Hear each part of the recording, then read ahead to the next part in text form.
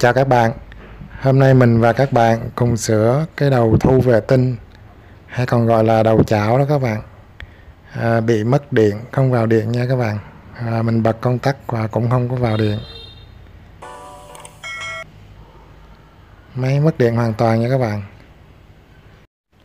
Đây là đầu thu miễn phí nha các bạn.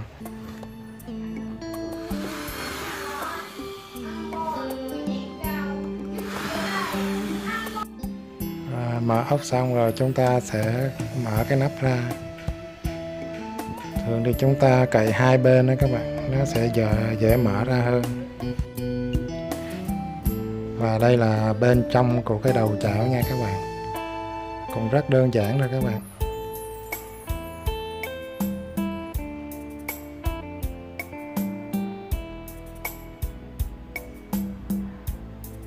Đây là bo nguồn cấp nguồn cho máy các bạn.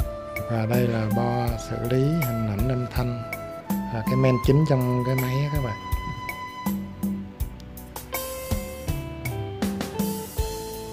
À, bây giờ chúng ta sẽ đo điện thử coi cái nguồn nó có điện không nha các bạn.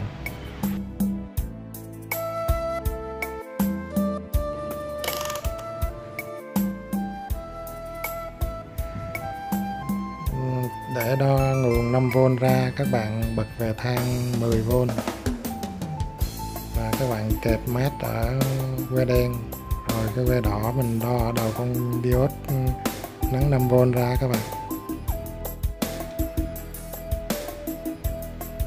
Nó bị dướng cái cọng dây á, mình đẩy cái cọng dây ra rồi mình đo nha các bạn.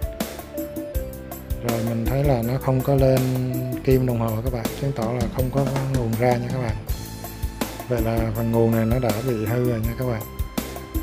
Bây giờ chúng ta sẽ mở ra, mở ốc ra các bạn, để lấy cái nguồn lên để chúng ta làm.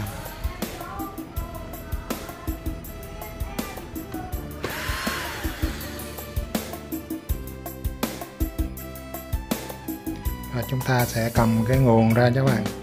Các bạn nhớ cầm ở bên ra 5V nữa nha, đừng có cầm vào bên điện vô 220 tại vì cái nguồn nó không chạy thì nó còn vẫn còn giữ điện đó nha các bạn. Mặc dù mình đã tháo nguồn ra rồi, tháo dây cắm điện rồi nhưng mà nó vẫn vẫn giữ điện trong đó. Rồi mình tháo rời ra ngoài luôn để cho dễ sửa nha các bạn.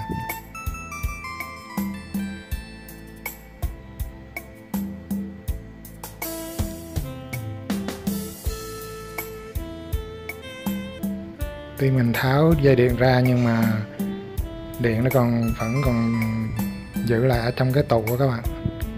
Giờ mình sẽ lấy mấy cái hộp mình kê lên cho nó đừng có chạm vào cái vỏ máy.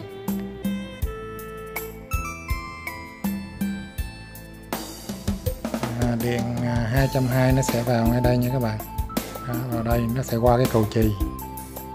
Đó, đằng sau cái mạch in là nó qua cái cầu chì đó các bạn. Đó đây là qua cầu chì. Rồi nó mới qua bốn con diode để nó đổi ra điện một chiều nha các bạn ra điện một chiều rồi nó qua cái vô cái tụ để nó lọc. Đó cái tụ bự này nè các bạn. Đó là bên đây là trừ nè bên đây là cộng. Đó, để nó lọc cái điện một chiều cho nó êm. Đó, giờ chúng ta sẽ đo điện vào. Và dưới mặt in là các bạn.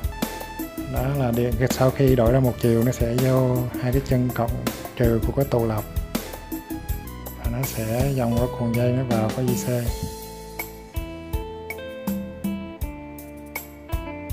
rồi bây giờ mình sẽ cắm điện và mình đo thử coi, coi điện nó có vào tới trong cái IC chưa nha các bạn.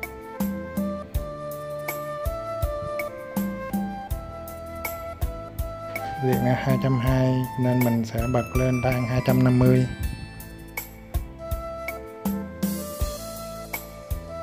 rồi cái que đen mình sẽ chấm vào mát của cái ờ, chân tụ của các bạn.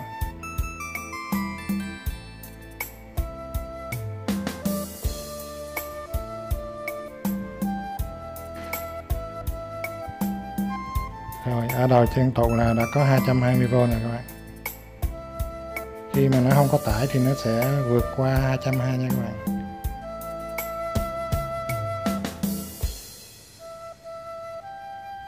Từ cái đầu 220 của cái tụ nó sẽ nó sẽ đi vòng qua cái cuộn dây cuộn dây tăng phô các bạn.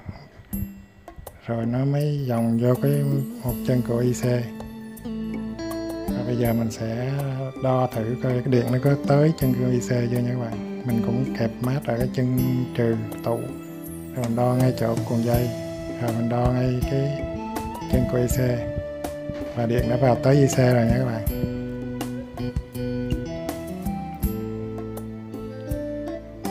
Vào IC rồi nhưng mà nguồn vẫn không chạy. Rồi bây giờ chúng ta rút điện.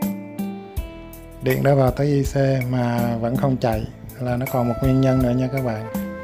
Là cái mặt trên để cho các bạn dễ xem.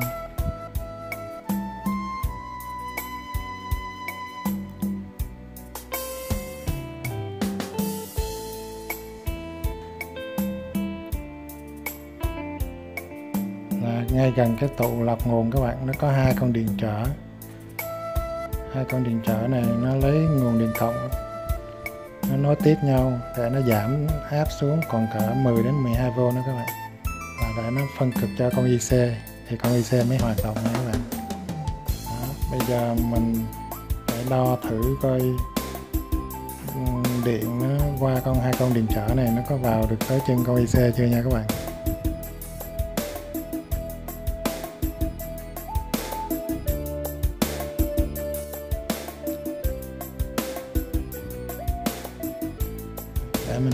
Cái mặt in lên mình, hướng dẫn cho các bạn dễ hiểu hơn. Đây là hai con điện trở này các bạn. Đó, một đầu nó nối vào chung với điện thế cộng ở ngay cái tụ á. Nó sẽ qua nối tiếp hai con với nhau. Nó sẽ vào trên con IC nó phân áp cho con IC đó. Nó lấy 220V nó hạ xuống còn 12V để nó cấp cho con IC cấp nguồn cho con IC để IC hoạt động.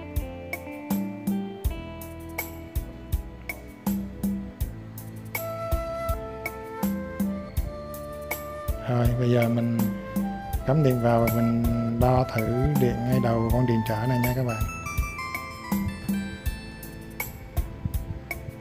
Đây là hai cái nguồn ngay hai chân tụ đây. Đó, đã có điện. 220 các bạn. Rồi, bây giờ mình đo ở bên chân điện trở.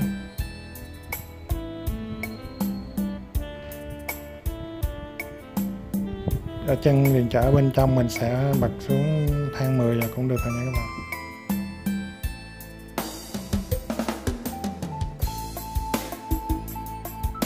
Rồi, không có được nha các bạn. Ở ngay con điện trở phân áp này phải có 12V thì con IC này mới hoạt động nha các bạn.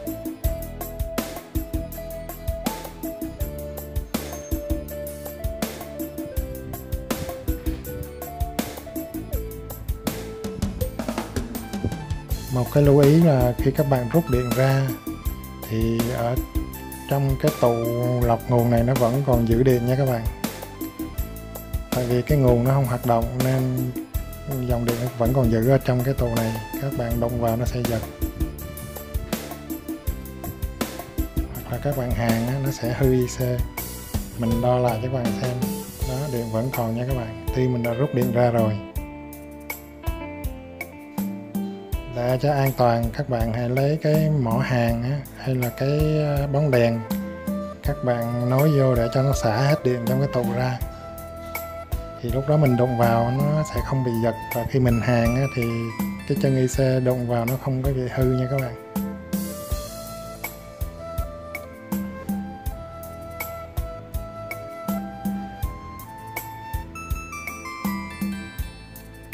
Rồi, bây giờ mình đo lại thì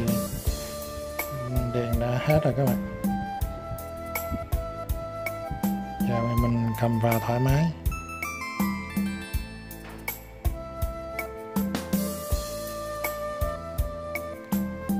Và hai con điện trở phân áp cho con IC này các bạn. Là hồi nãy mình đo là ở con ở ngoài thì thì còn lên, con ở trong thì mất điện.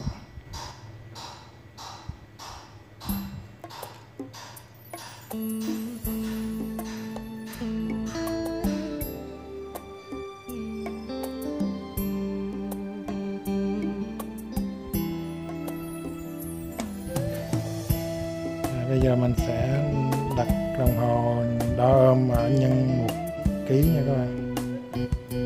Mình sẽ đo thử sơ qua hai điện trở này. Đó, nhích lên một chút là được nha các bạn, tại vì nó tới 500 kg rồi. Và con thứ hai thì không lên nha các bạn. Vậy là con điện trở thứ hai này đã bị đứt, thành ra nó không có phân áp đến cho cái IC được các bạn.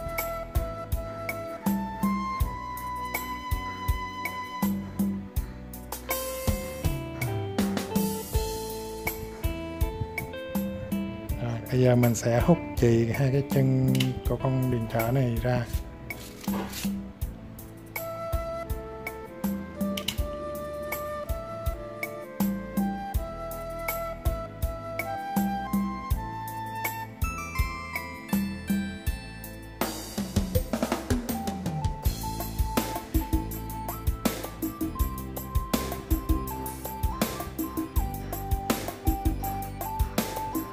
Rồi gỡ con điện trở ra rồi các bạn.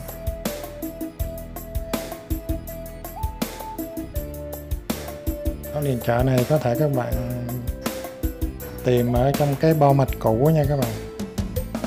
Hoặc các bạn mua ở mấy tiệm linh kiện cũng được, còn nếu không có các bạn tìm trong cái bao cũ. Đó điện trở là 500 kg và đây là con điện trở cũ của nó các bạn. 500 kg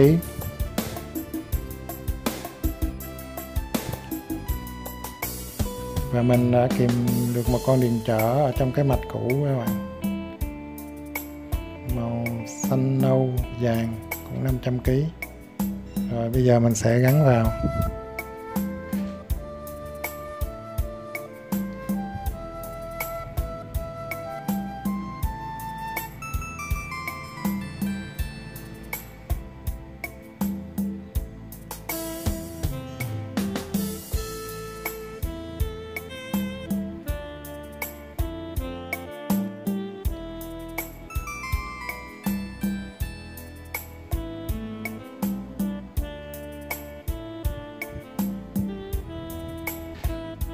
Đây các bạn, đây là con điện trở mình mới thay vào. Và bây giờ mình sẽ lật lên, mình bẻ cong cái qua một tí cho đừng có rớt ra. Rồi, và mình sẽ chấm hàng nó lại.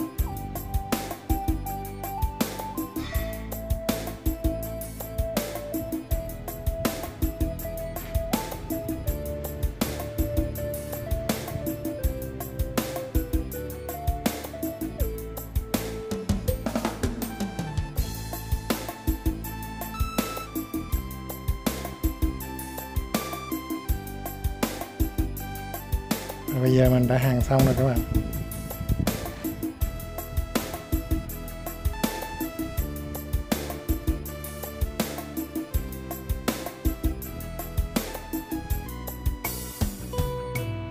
Mình sẽ cắm điện vào. Và mình sẽ đo thử coi cái nguồn phân áp của con điện trở vào IC có chưa nha các bạn.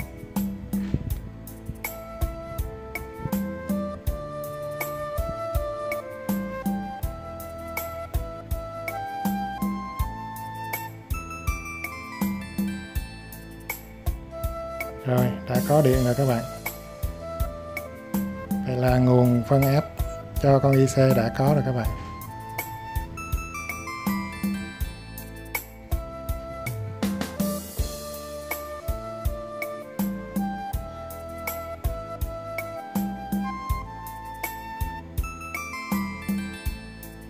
Và bây giờ mình đo thử cái nguồn ra 5V xem có chưa nha các bạn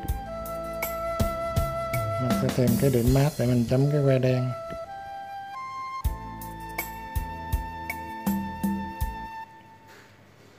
À, mình chấm vào máy.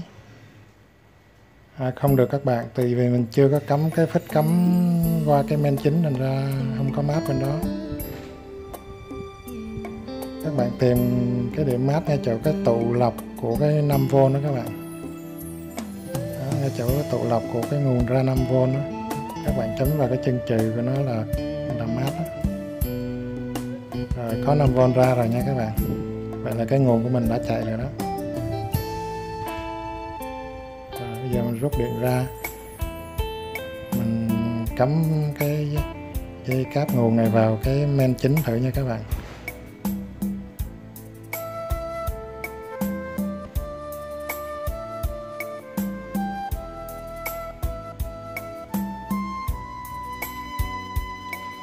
Các bạn nên kê cái hộp giấy cho nó đừng có chạm xuống dưới cái cái vỏ máy nha các bạn.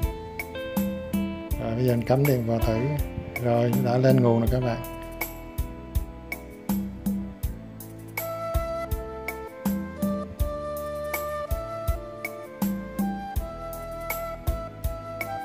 Rồi, bây giờ mình rút điện ra và mình sẽ ráp vào nha các bạn. Mình sẽ ráp cái bo nguồn bắt ốc cho nó chặt lại.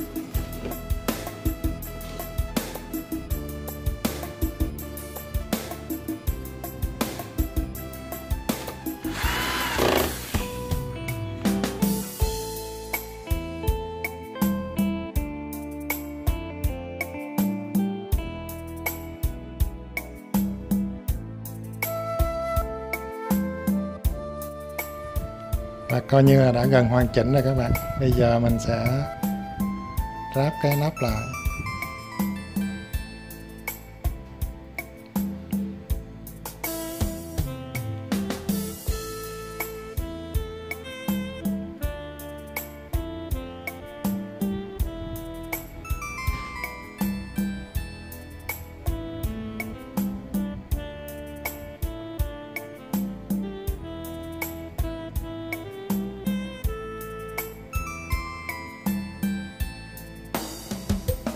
Bây giờ mình sẽ quăng ốc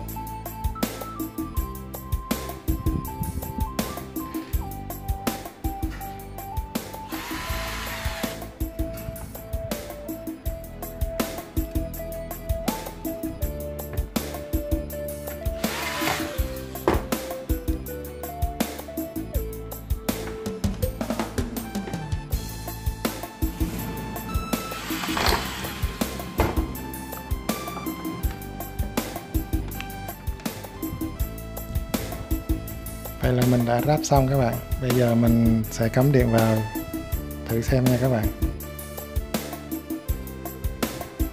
Rồi, đã có nguồn lên rồi các bạn.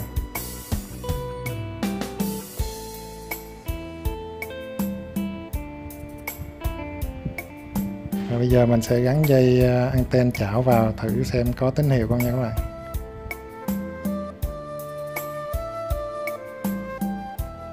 Rồi, đã có đèn xanh à, đã có tín hiệu rồi các bạn. Vậy là đầu chảo mình sửa đã hoàn thành. Ok rồi các bạn.